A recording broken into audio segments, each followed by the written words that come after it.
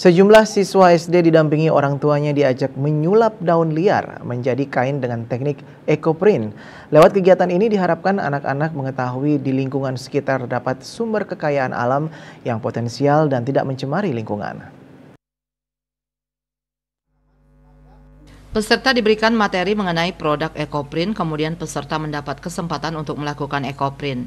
Founder EcoPrint Bali, Ari Budiawan mengatakan pihaknya memperkenalkan kepada anak-anak, mengedukasi mereka supaya mereka tahu bahwa produk-produk dan alat-alat ini ada di lingkungan sekitar mereka.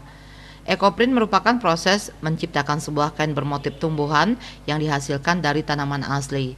Konsep mengajar yang digunakan adalah konsep dapur, yaitu semua alat dan bahan yang digunakan dapat diperoleh di dapur, sehingga bagi yang menyukai kerajinan ini dapat mengaplikasikannya sendiri di rumah.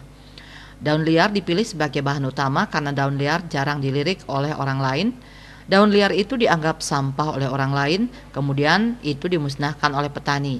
Anak-anak pun bisa membantu petani di ladang untuk memungut daun-daun yang tidak terpakai itu. Workshop ini juga bermanfaat untuk menumbuhkan rasa kerjasama tim karena pada prosesnya peserta dibagi menjadi beberapa tim. Selain itu, untuk menambah keseruan acara, peserta ditantang untuk mencari daun yang sebelumnya telah disembunyikan oleh panitia.